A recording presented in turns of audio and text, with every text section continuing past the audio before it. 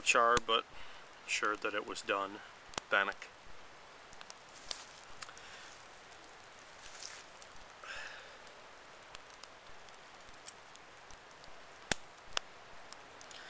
A little doughy at the bottom, probably.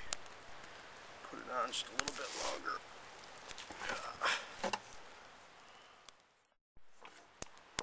Yeah, I'm not sure where the camera's pointing, but imagine at the fire in the log there. Wouldn't you know it?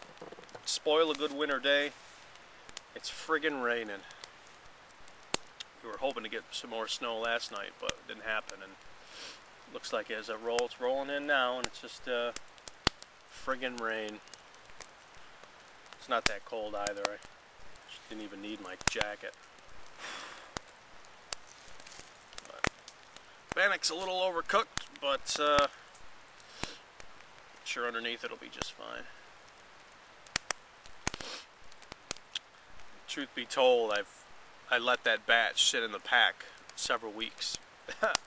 uh,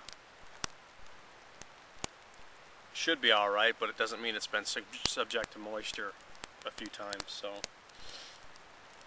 didn't cook as perfect as I'd hoped it would, but too bad. Take a piece here. Mmm.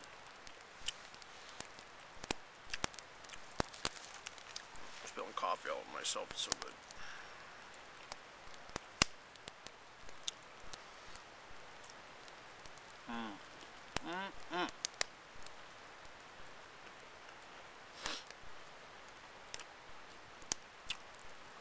Go with the coffee.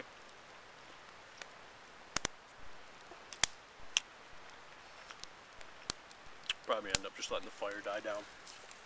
Because I don't need it anymore. And I don't I don't like to keep on going if I'm not using it. It's not cold enough for me to need it. I'm actually in my Norwegian sweater. I'll probably hike out in this and carry my coat. Mm. Well, did say new kit on the last video, and so those of you on the forums have probably already seen it.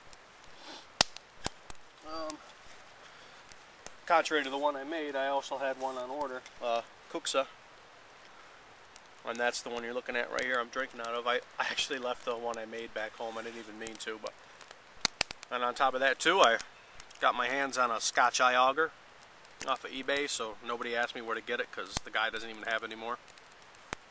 And uh, that's pretty much it.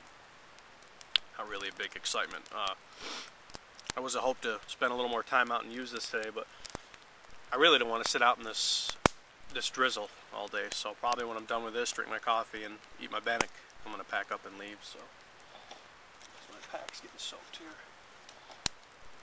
But yeah, new kit. Uh, with any luck, I'll get to the Atlatl by the end of this month. kuksa took a little longer than I expected. I ended up cutting my hand really bad, which made it go on even longer. So it's uh, that was a rough project, and I'm just happy to get out today and all. Everything's getting wet now, including me.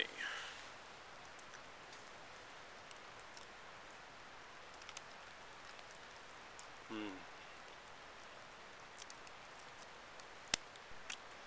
Might have noticed when I was making it. Put a little raisins in mine. Yeah, it's just the point turning from dough to there and a little soft, but pretty good. I don't keep stoking the fire to get it to cook, so. But pretty good.